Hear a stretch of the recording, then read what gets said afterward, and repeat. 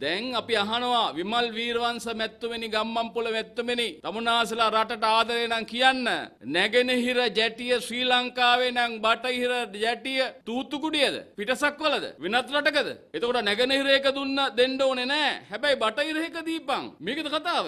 එතකොට මේක මේ රටේ එකක් නෙමෙයි විදිහට යන්නේ. මතක තියාගන්න අවසානයේ මේ අය හදන්නේ සමස්ත වරායටම අදානි කියලා නම ගහන්න. අදානි කියලා නම ගහද්දි මේක අස්සේ මොන වගේ ජාවාරම් සිද්ධ වුණාද? මුදල් එහාට මෙහාට වුණාද? ගනුදෙනු වුණාද කියන එක අපිට දැන් ප්‍රශ්නයක්. ඒ නිසා මේ ප්‍රශ්නය ජනතාවට निराකරණය කරලා දෙන්න ඇත්ත කතාව කියන්න. මේ වාස්සේ කවුද ඉන්නේ නැත්තේ? මේවා කොයි ආකාරයෙන්ද සිද්ධ වුනේ කියලා. ඊළඟට රට විරුව ගැන විශාල ප්‍රශ්නයක් දැන් පැන නැගිලා තියෙනවා. මට ඊයේ කතා කරා ජර්මනියේ ඉඳලා ආපු කණ්ඩායමක් යුවලක් දැන් නිරෝධායන වෙනවා මෙහි. එයාගේ සහෝදරයෝ ටික ජර්මනියේ ඉඳලා මට කතා කරා. මොකද්ද? ඒ අය ආපු ශ්‍රී ලංකන් එයාලයින් එකේ ටිකට් එක ඒගොල්ලෝ අරගෙන ඇවිල්ලා තින්නේ යූරෝ 1700කට. ඒ ෆ්ලයිට් එක ඇතුළෙම මෙයාට හම්බ වෙනවා සුදු ජාතිකයෝ එනවා ඒ අය ගෙවලා තියෙන්නේ යූරෝ 950යි. දැන් ප්‍රශ්නේ මොකද්ද මේ වෙනස? කවුද මේකේ ගහලා තියෙන ඉතුරු ගාන? කවුද ගත්තේ? ගුවන් සමාගමේම වැඩසටහනක්ද? වෙනත් ජාවාරම්කාරයෙක් මේක අස්සේ ඉන්නවද මේක කරන්න? එතකොට ලංකාවේ කාට එක ගානක්, සුද්දට තව ගානක්. සුද්ද කාගේද අපි දන්නේ නැහැ. එතකොට මේ කරන්නේ කාටද මේ රට විරෝ කියලා මේ ඡන්දේ